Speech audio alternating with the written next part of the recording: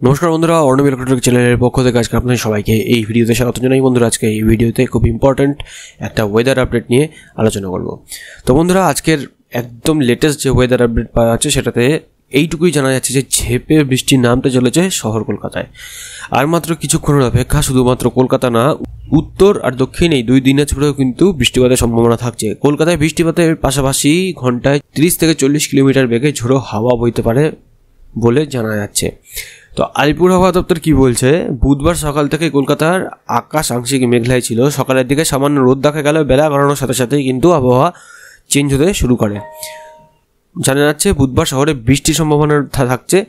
একই সঙ্গে উত্তর আর দক্ষিণ চব্বিশ পরগনাতেও কিন্তু বৃষ্টি হতে পারে। এদিন কলকাতার সর্বোচ্চ তাপমাত্রা থাকতে পারে পঁয়ত্রিশ ডিগ্রি সেলসিয়াস আর সর্বনিম্ন তাপমাত্রা থাকতে পারে ছাব্বিশ ডিগ্রি সেলসিয়াস। গতকাল কলকাতার সর্বোচ্চ তাপমাত্রা ছিল চৌত্রিশ দশমিক আট ডিগ্রি সেলসিয়াস। তবে কলকাতায় কালবৈশাখীর সম্ভাবনা রয়েছে কিনা, তা কিন্তু এখনও পর্যন্ত আবহাওয়া দপ্তরের তরফে কিন্তু জানানো হয়নি। এদিন দক্ষিণবঙ্গ জুড়ে ঝড় বৃষ্টির সম্ভাবনা রয়েছে। এছাড়াও দক্ষিণবঙ্গে রয়েছে শিলাবৃষ্টির সম্ভাবনা। পাশাপাশি বুধবার কিছু জেলায় কালবৈশাখের পরিস্থিতি তৈরি হতে পারে।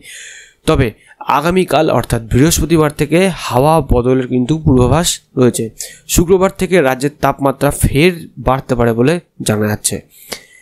বুধ ও বৃহস্পতিবার সমস্ত জেলাতেই কিন্তু বজ্রবিদ্যুৎ সহ বৃষ্টিপাতের সম্ভাবনা থাকছে।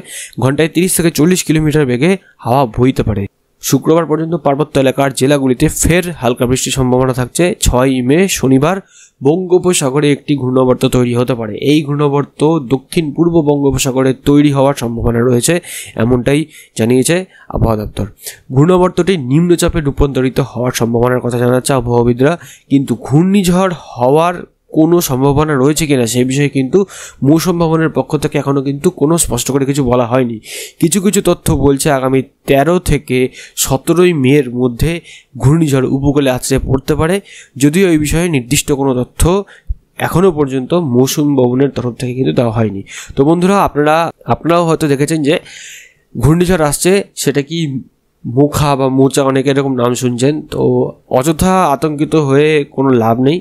এখনও পর্যন্ত সেই ঘূর্ণিঝড়টা যেটা, সেটা ফর্ম করেনি। শুধুমাত্র নিম্নচাপ আকারে সেটা এখনও আছে। আর যদিও ঘূর্ণিঝড় সেটা ফর্ম করে, তো সেটাও কিন্তু একটু সময় সাপেক্ষ ব্যাপার। তো আবহাওয়ার আপডেট কি থাকছে না থাকছে সেটা আমরা কিন্তু আপনাদেরকে ডে বাই ডে এভাবে দিতে থাকব। তো আজকের ভিডিওটা কেমন লাগল অবশ্যই কিন্তু কমেন্ট সেকশনে কমেন্ট করে জানাবেন। ভালো লাগল লাইক করবেন। ভিডিওটা অনেক বেশি করে শেয়ার করুন। এরকম ভিডিও আপডেট আরও তাড়াতাড়ি পাওয়ার জন্য চ্যানেলটাকে যারা এখনও সাবস্ক্রাইব করেননি, অবশ্যই চ্যানেলটাকে সাবস্ক্রাইব করবেন। আর অলরেডি যারা সাবস্ক্রাইব করেছেন, তাদেরকে অসংখ্য ধন্যবাদ। তো বন্ধুরা, ভিডিওটার সাথে শেষ পর্যন্ত থাকার জন্য সবাইকে ধন্যবাদ জানাই। ভালো থাকবেন, সুস্থ থাকবেন।